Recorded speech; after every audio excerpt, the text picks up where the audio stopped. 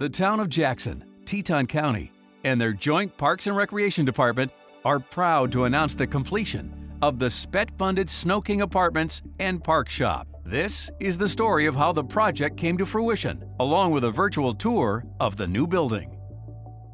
This is our current park maintenance facility and I think a really good thing to look at is this is how we have to store our equipment. This is the equipment that we want to get inside.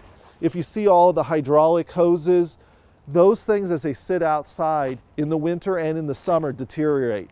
And that's a lot of expense. You know, we have millions of dollars in equipment of public assets that we need to do better at taking care of. And that's what this new facility is going to afford us the opportunity to do. I'll take you in to show you where everything happens inside this building. This is where our mechanic works out of. So what you'll find is you'll see a lot of black exhaust, um, and this is just kind of the environment that we have to work out of. I'm going to take you into the administrative offices. This is where all 16 guys currently work out of. Coming in, guys. Okay. Coming in, guys. So basically, this is everything we've got. Everybody shares their office space, and this is where we're all working out of right now. Again, this is the space for 16 staff members. Back in 1980, we had three parks, a couple baseball fields, and generally that's it. Now we're in the neighborhood of 19 parks. We have athletic fields, we have river parks, we have 50 miles of pathways. We also maintain over 12 miles of sidewalks. We also are taking care of about 35 government grounds. So with that comes a lot more people. In 1980 when we started, we had one full-time guy in the parks crew and we had two seasonals. We are now at 16 full-time employees. And so we wanted to find a place that was safe and effective and efficient for them to work out of. So where you're at right now is you're in our storage garage. So the storage garage is where we're going to have all of this equipment.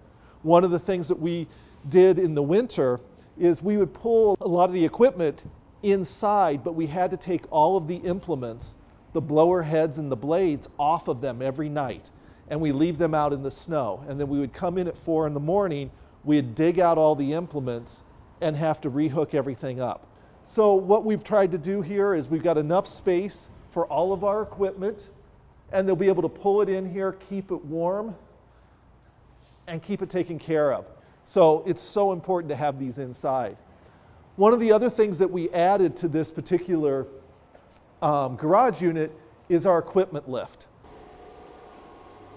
Hey, welcome to the basement. So what we basically have is we come down the equipment lift, we'll be able to take these implements that are seasonally used and bring them down here into this basement space. What we have is our storage area for supplies, plumbing materials, irrigation materials, and so forth. As we leave this storage unit, we're going into our locker room for our staff. So this is a spot for each one of our staff will have their own individual locker.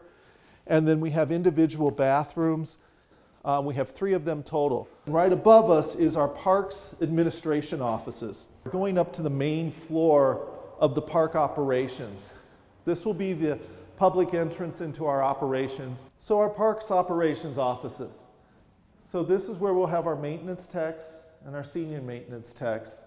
And the idea is each one of our maintenance, senior maintenance techs will have their computer workstation, stand-up desk, so we'll go into what they have as a conference room, break room. This is something that the staff has never had before. So this is where they'll be able to kind of catch up and, and make sure we're all on the same page and take a break during the day. We have a couple offices. Our offices are for our, my assistant manager. Parks manager has his offices in here as well. So all parks operations will be housed and work out of this, this building.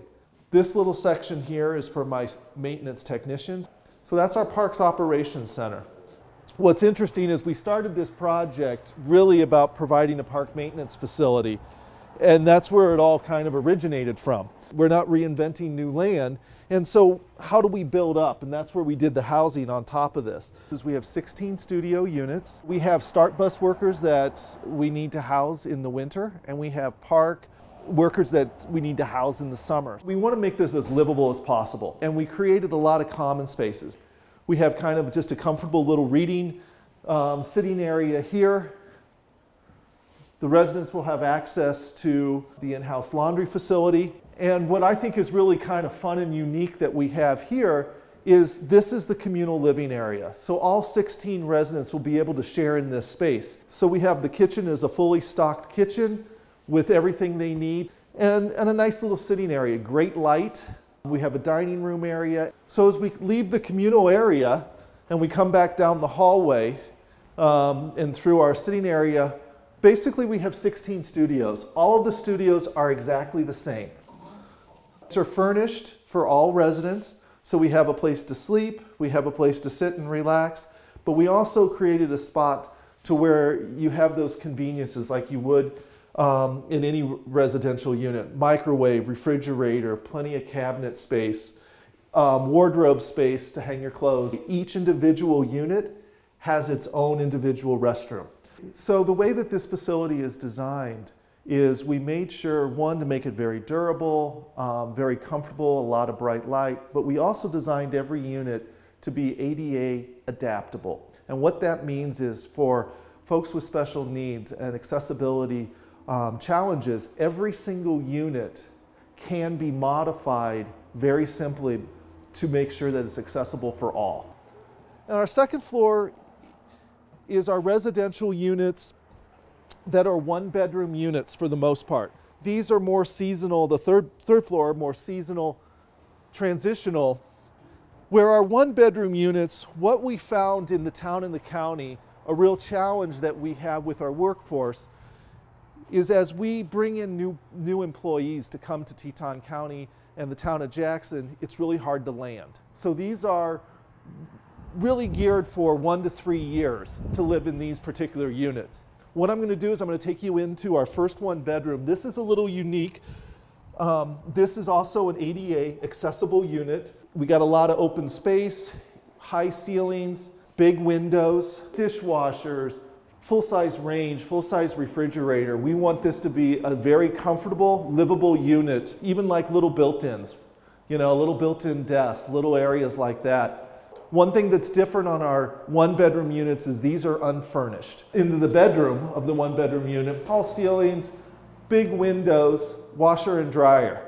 Every unit has a washer and dryer in our one bedroom. One bedrooms, of course, you have your bathroom facility. This is the ADA accessible unit. You'll see the grab bars. It's got the shower system. You can see that we can get a wheelchair up and under the sink. We can get a wheelchair up and underneath some of the cabinets.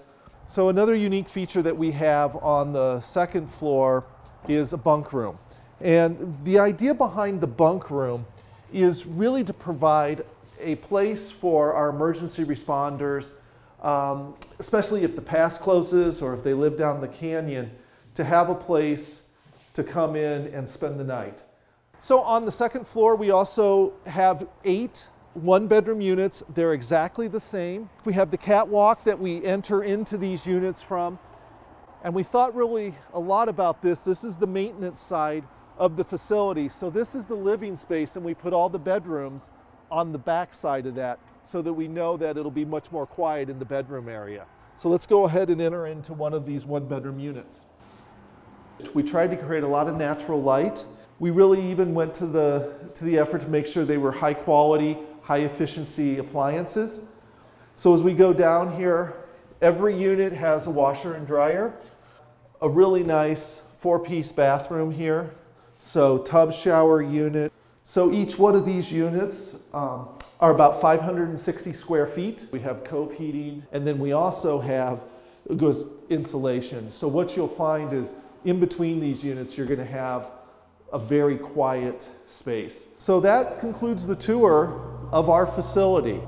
We started the planning of this particular project 15 years ago. We're really excited that we finally came to this point to where we have this.